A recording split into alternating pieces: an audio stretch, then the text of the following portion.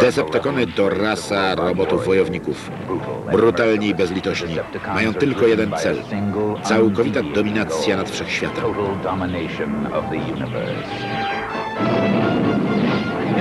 Wojna, która toczyła się przez miliony lat pomiędzy autobatami i Decepticanami.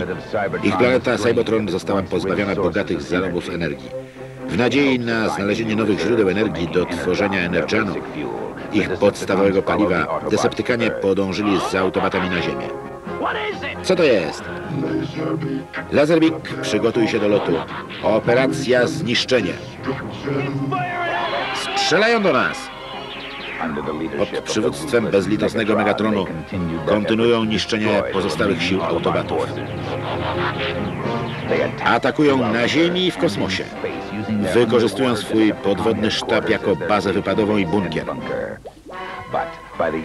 Ale w roku 2000 Deceptykanie okazali się przegranymi w ostatniej wielkiej batalii.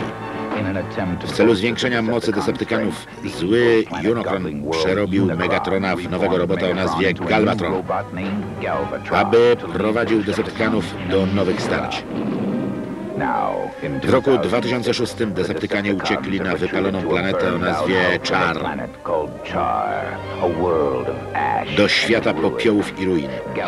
Galvatron i jego deceptykańscy porucznicy, niesamowity cyklonus i mocarny Skorycz atakują w całym wszechświecie. Ich celem jest ponowne podbicie Cybotronu i zniszczenie autobatów.